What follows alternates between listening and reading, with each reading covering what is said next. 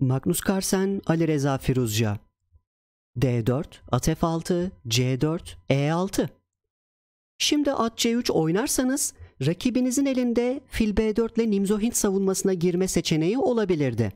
Bu sebeple Carlsen at C3'ü biraz daha erteliyor ve oyuna at F3 ile gelişerek devam ediyor. Elbette bu bir açılış tercihi ve yine fil B4 yapılabilir.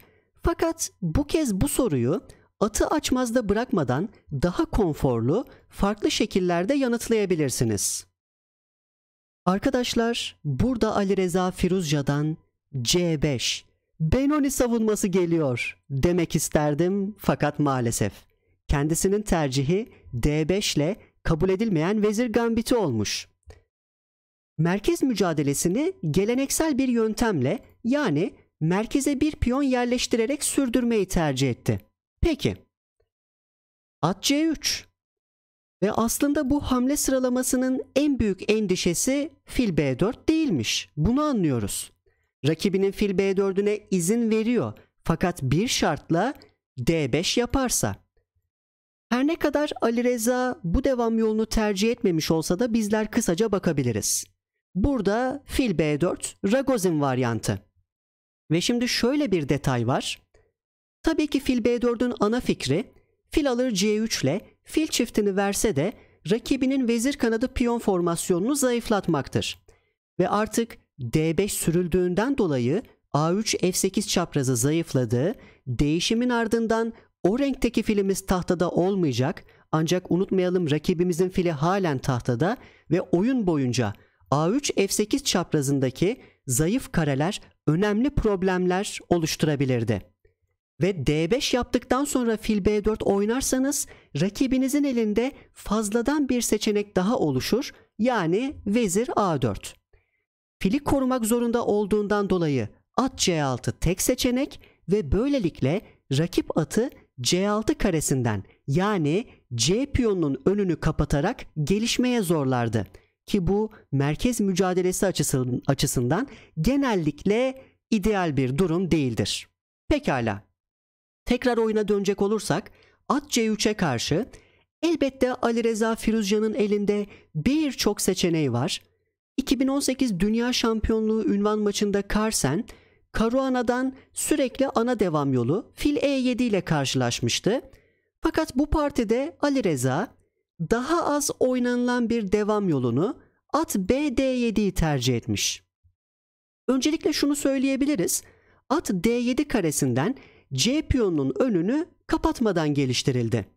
Yani ileride çok güçlü bir merkez piyon yapısı C6 ile yarı Slav piyon formasyonuyla devam edebilir ya da merkez mücadelesi için direkt C5 yapmakta isteyebilir. Ki D7 karesindeki at bu planı güzel bir şekilde destekleyecektir. Ayrıca kabul edilmeyen vezir gambitinde en problemli taş C8'deki vezir filidir. E6 piyonu sebebiyle. Gelecekte güllük gülistanlık mükemmel bir dünyada hem merkezden karşı oyun hem de bu fili geliştirebilmek adına E5 sürülmek istenilebilir ve yine D7 karesindeki bu arkadaşımız bu planı da fazlasıyla destekleyecektir, yardımcı olacaktır. Ve son olarak at D7'den sonra dünya şampiyonunun kafasında şöyle ufak bir soru belirmiş olmalı. Acaba rakibim C4'ü alıp daha sonra da at B6 gelerek o piyonun üstüne yatmaya çalışıyor olabilir mi? Bakalım. Yani bu söylediklerimizi bir cümlede özetleyecek olursak at D7 birçok seçeneği saklı tutan oldukça esnek bir devam yolu. Dünya şampiyonu fil G5 ile oyuna devam ediyor. Oldukça mantıklı. Öncelikle ileride E3 yaptığında artık bu fil dışarıya çıktığından dolayı bunu rahatlıkla yapabilir. Ayrıca F6 karesindeki atı açmaza aldığından dolayı şimdi D5 karesinden piyon kazanmayı da istedi.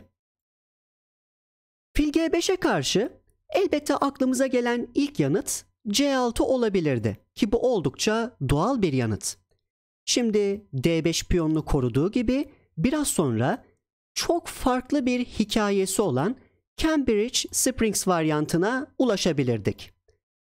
Fakat arkadaşlar, merkez mücadelesi için daha etkili ve yapılması kolay olan C5 gibi bir planımız varsa bunu ileride tempo kaybetmemek, bir sürüşte yapabilmek için şu noktada C6'yı eleyebilirsiniz ki Ali Reza da böyle yapmış. Ali Reza'nın tercihine gelmeden önce şunu da belirtelim. Bu açılışta genellikle C4 piyonu boştaymış gibi gözükür. Yani bedava bir piyon gibi. Fakat dikkatli bir şekilde bu alış yapılmadığı takdirde bundan zararlı bile çıkabilirsiniz. Mesela D alır C4'ten sonra merkezdeki tek piyonunuzdan vazgeçmiş oluyorsunuz ve rakibiniz E4 ile merkeze ikinci piyonu getirerek çok önemli bir üstünlük, avantaj elde edebilir. Şimdi C4 piyonunu almayı istediği gibi açmazdaki attan E5 ile faydalanmaya da çalışabilir. Yani bu devam yolunu eğer oynayacaksanız öncesinde çok iyi ve derin bir hazırlığınızın olması gerekiyor. Çünkü oldukça force ve taktiksel ilerleyen bir varyant. Ve şunu söyleyebilirim ki Viyana varyantının kötü bir türevi gibi. Peki. Fil G5'e karşı burada Ali Reza sakin bir şekilde devam ediyor ve H6 oynamış. Peki sen filini güzel bir şekilde geliştirdin fakat biraz erken geliştirdin ve ben hemen ne yapmaya çalıştığını öğrenmek istiyorum diyor. Tabii ki dünya şampiyonu öyle kolay kolay bu açmazdan çıkmaya fırsat vermeyecektir. Flash 4 oynamış. Eğer bunu yapmak istiyorsan daha fazla taviz vermelisin. Yani bir piyon sürüşü daha. Çünkü bu yapılırsa yapılan birçok piyon sürüşü sebebiyle şah kanadı ciddi ölçüde zayıflatılmış olurdu. Bu sebeple fil h4'e. Fil e7. Şimdi açmazdan çıktığı gibi kısa rok hazırlıklarını da tamamlamış oldu. Ve aslında Ali Reza şunu söylüyor olabilir. Az önce ne demiştik? C4 alışından sonra E4 ve açmazdan E5 ile faydalanma tehditleri var. Fakat artık bu söz konusu olmadığı için belki de Ali Reza burada C4'ü almaya hazırlıklıyım diyor olabilir. Bu sebeple dünya şampiyonunun yavaş yavaş merkezle ilgili bir karar vermesi gerekiyor. Tabii ki ilk seçenek elini hemen belli eden C5 olabilir. Merkezi kapatıyorum ve alan üstünlüğümün bulunduğu vezir kanadından dümdüz piyonlarımı sürerek oynamak istiyorum diyebilirdi. Bu başka bir hikaye elbette. Ya da daha esnek ve prensipli bir şekilde E3 ile merkezdeki gerilimi koruyarak ayrıca C4 piyonunu bu şekilde de devam edilebilir. Ancak dünya şampiyonunun tercihi file 7'ye karşı hani gel artık şu merkezdeki piyon yapısını kararlı bir hale ulaştıralım olmuş. C alır D5. Şimdi merkeze tekrar bir piyon yerleştirmek adına elbette bu alışı E alır D5 ile yapabilirsiniz. Bu oldukça doğal. Ve daha sonra içerisinde birçok standart ve çok iyi bilinen planları barındıran C6 ile birlikte Karsbat piyon yapısını oynamak isteyebilirdi. Ve az önce de sözünü ettiğimiz bu vezir filinin gelişim problemini ciddi ölçüde de çözmüş olurdu.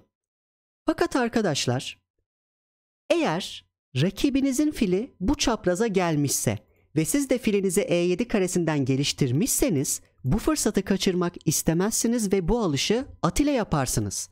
Bunun sebebi Şimdi Karsen'in filini almak istiyor bu sebeple fil alır E7, vezir alır E7. Yani rakibinin daha aktif, fonksiyonel filiyle kendisinin biraz daha pasif filini değişmeyi başardı.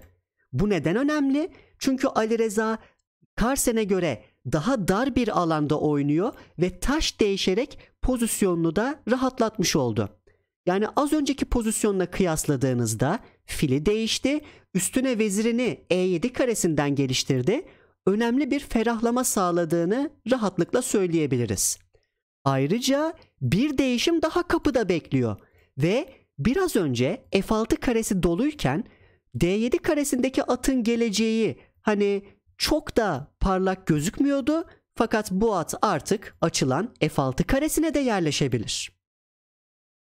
Ancak genellikle olduğu gibi bir avantaj elde ediyorsanız bir şeylerden taviz vermeniz gerekiyor.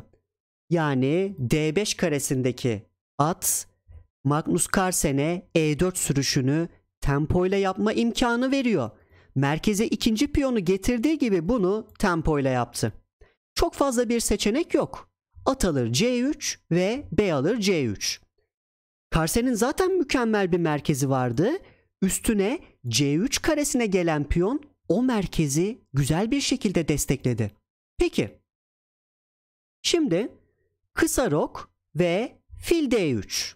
Gelişime devam. C5.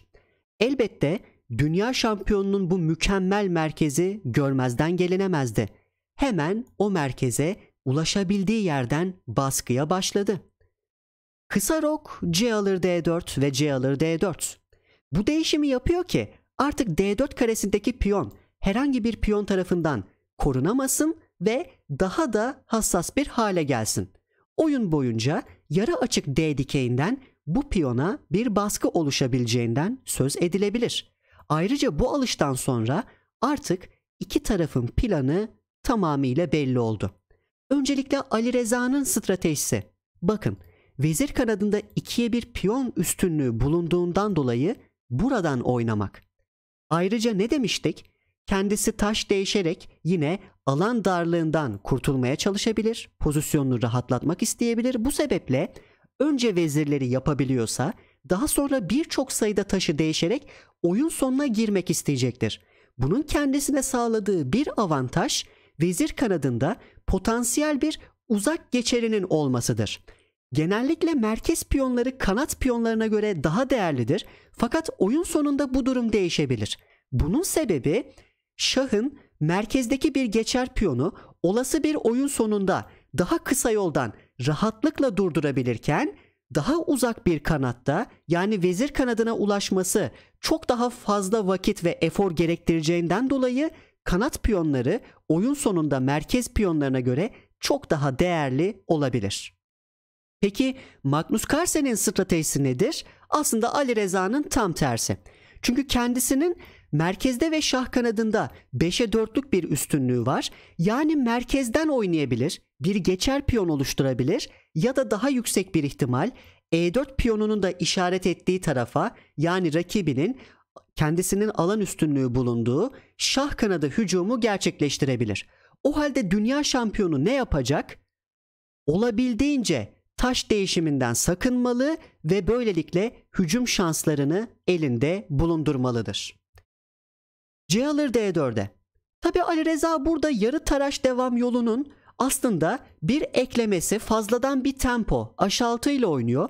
Bu elbette yarar sağlayabilir şah için fakat bu oyunda görecek olduğumuz gibi oyunun sonunda kaybettiren bir hamle de olabilir. Peki B6 filin gelişimini hazırlayarak A4 dünya şampiyonu çok önemli bir ilkeyi uyguluyor. Yani rakibinin piyon çokluğunu azalt, üstünlüğünü azalt ilkesiyle. Şimdi fil B7. Bu fil uzun çaprazdan rakip merkezi sürekli rahatsız edecek. Ve A5.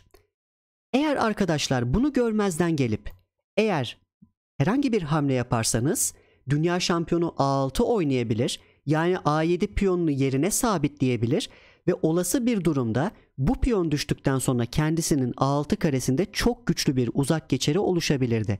Ayrıca bu uzun çapraza yerleşen mükemmel filimizin de rahatsız edilmesini istemeyiz. Bu sebeple B alır A5, kale alır A5. Evet ilk bakışta Ali Reza hiçbir şey yapmadan bir uzak geçer elde etti. Tamamen rakibinin yardımıyla. Fakat bu piyon halen yerinde ve tehlikeli olmaktan çok uzak ve tam aksine A dikeyinden bir hedef, zayıflık haline de gelebilir. Ve tabii ki 5. yataydaki kale bu piyona baskı yaptığı gibi ana planı olan şah kanadı saldırısı için bir anda kendisini rakibin şah kanadına aktarabilir. Kale alır A5'e karşı. Şimdi at F6 E4 piyonunu istedi. Ve eğer elimizde omuz omuza dediğimiz yani bu yan yana, mükemmel, mobil, hareketli merkez piyonları varsa genelde esnekliğini bir süre korumak isteriz. Yani D5 mi ya da E5 mi süreceğimiz konusunda acele etmememiz gerekiyor. Çünkü değişen koşullara göre D5 ya da E5 ikisinden biri daha iyi sonuçlar verebilir. O halde hemen E5 sürmemiş. Çünkü bunun yapılması hem filin daha da canlanmasına hem de E4 özellikle de D5 karesini zayıflatırdı. At F6'ya kale E1. Şimdilik piyonu koruyor. Kale F D8 merkeze baskıyı arttırarak ve Carsen olası bir açmazdan ve kalesiyle aynı dikeyden vezirini çıkarmış. Vezir A1 hem merkezini destekliyor hem de A7 piyonunu istedi.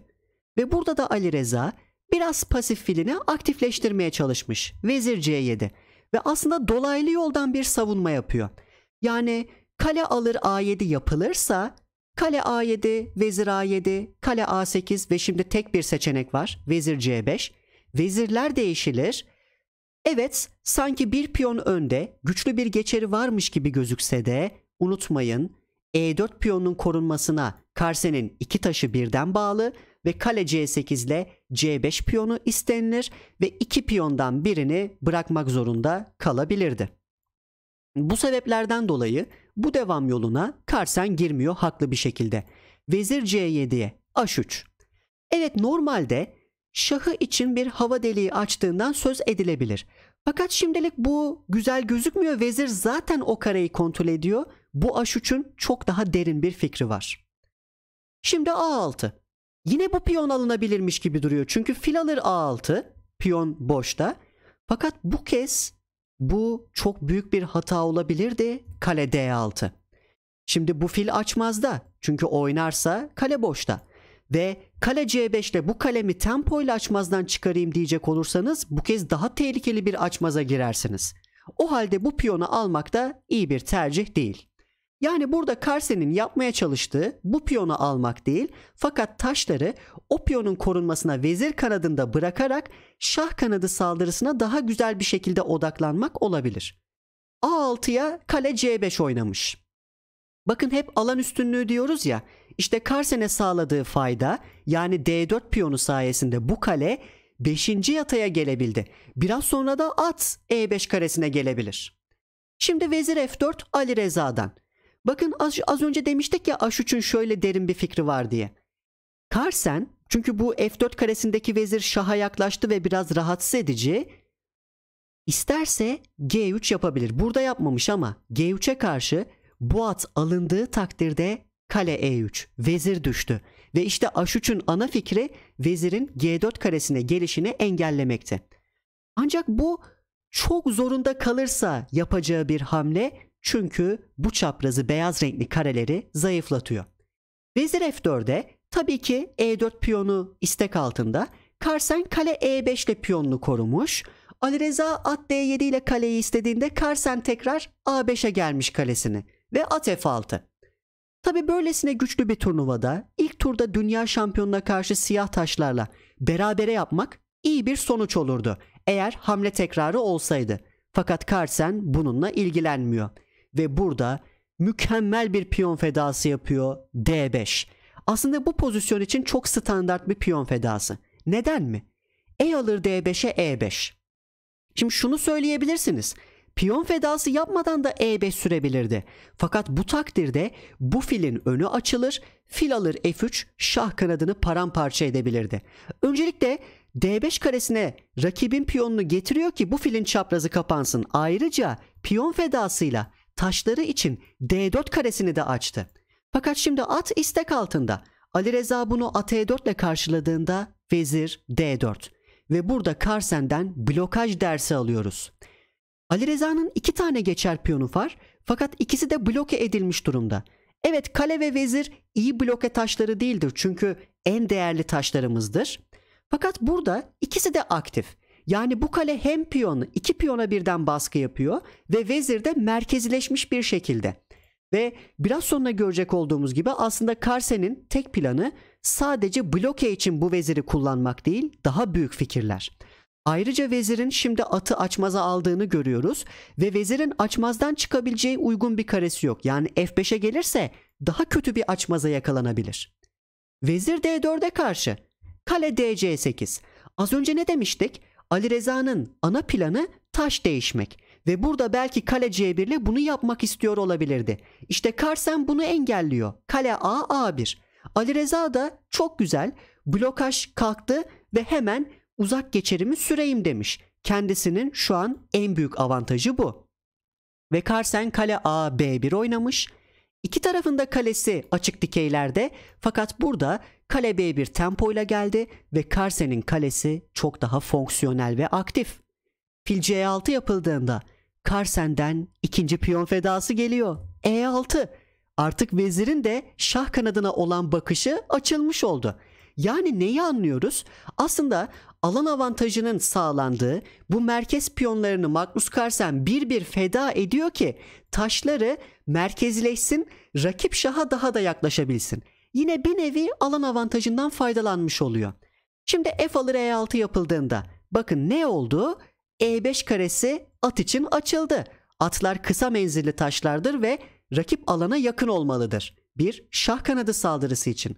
Artık F7 karesinde de bir piyon olmadığı için şahın çevresindeki beyaz renkli kareler daha da zayıfladı. Fakat arkadaşlar dikkat edin. At E5 şimdi F3 ile açmazdaki atı kazanmak istiyor.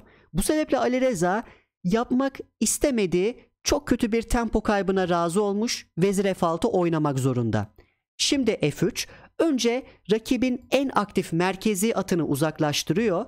At G5 oldukça mantıklı. Zayıf E6 piyonunu destekleyebilir ve bir noktada rakibinin merkezi atına F7'den mücadele başlatabilir.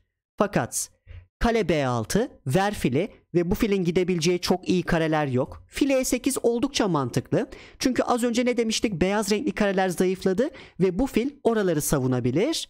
Şimdi vezir E3. Karsen'in de veziri hani bir anlamda açmazda gibiydi. Bundan da kurtuldu. Bakın Karsen'in taşlarına bakar mısınız? Merkezi at, B6'da müthiş bir baskı yapan kale, şah kanadına bakan bu fil, vezir ve kale mükemmel. Fakat Ali Reza'nın taşları arasındaki koordinasyon biraz zayıf gibi gözüküyor. Fakat şimdi vezir E3'e Ali Reza benim rakibim beni mat etmek istiyor. O halde ben de uzak geçerimi bir an önce harekete geçirmeliyim düşüncesiyle A4 oynamış. Fakat bu Karsen'e şimdi at G4 yapma fırsatı veriyor ve at G4 hamlesinden sonra vezir D8. Ali Reza hani rakip kaleyi baskı yapayım ki hiç değilse veziri kalenin savunmasına bağlayayım. Ancak dünya şampiyonu burada. Bakın birçok piyon feda etti ve sıra kalite fedasına geldi. Kale alır E6. Yani bu fedayı kabul etmemek için çelik gibi sinirlere sahip olmanız gerekiyor. At alır E6, vezir alır E6. İşte bir bir kendisini feda eden piyonların meyvesini Karsen şimdi alıyor. Rakip şaha ulaşmayı başardı. Burada makineye göre şah h8 oyna ve keyfine bak diyor makine. Fakat Ali Reza oyunu kaybettiren ancak bir o kadar da doğal, insani bir yanıt veriyor. Fil F7. Yani veziri isteyerek bunu karşılıyor. Ne kadar kötü olabilir ki? İki piyon fedası ve kalite fedasının ardından. Şimdi Karsen bir de at feda ediyor. At alır aşaltı. Artık materyalin hiçbir önemi yok çünkü mat edecek. Tabii ki bu çifte istekle geldiği için alınmak zorunda. G alır H6, vezir alır H6. Dünya şampiyonu her ne kadar net kale geride olsa da Ali Reza'nın şahının yalnızlığı sebebiyle oyunu kazandı. Burada fil H4 birkaç hamle içerisinde mata ulaştırırken vezir H7 ayrıca kale E5 kale G5 oyunu kazandıran tehditler ve hepsini birden karşılayamıyorsunuz. Evet daha dirençli bir savunma yapılabilirdi ama Ali Reza Vezir C7 oynamış ve burada videoyu durdurup düşünebilirsiniz. 6 hamlede force mat var. Tabii ki dünya şampiyonu bunu buluyor. Vezir H7, Şah F8, Vezir H8. Burada önemli bir detay şahın E dikeyinden gidememesi. Bu çok önemli. Bu sebeple fil kapatmak zorunda ve buna da vezir H6 Ali Reza oyunu terk etmiş. Çünkü Şah F7 yapılırsa fil G6, Şah F6'ya file E8 açarak şah ve Şah F5'e G4 mat olurdu. Ya da vezir H6'ya vezirle kapatırsa vezir D6, Şah F7, vezir E7 mat ile sonuçlanırdı. Bu sebeple Ali Reza burada oyunu terk ediyor. İzlediğiniz için çok teşekkür ederim. Kanalımızı katıl butonuyla bağışlarınızla destekleyebilirsiniz. Ayrıca videoyu beğenir, abone olur, yorumlarınızı eksik etmezseniz çok sevinirim. Sonraki videolarda görüşmek dileğiyle kendinize çok iyi bakın, hoşçakalın.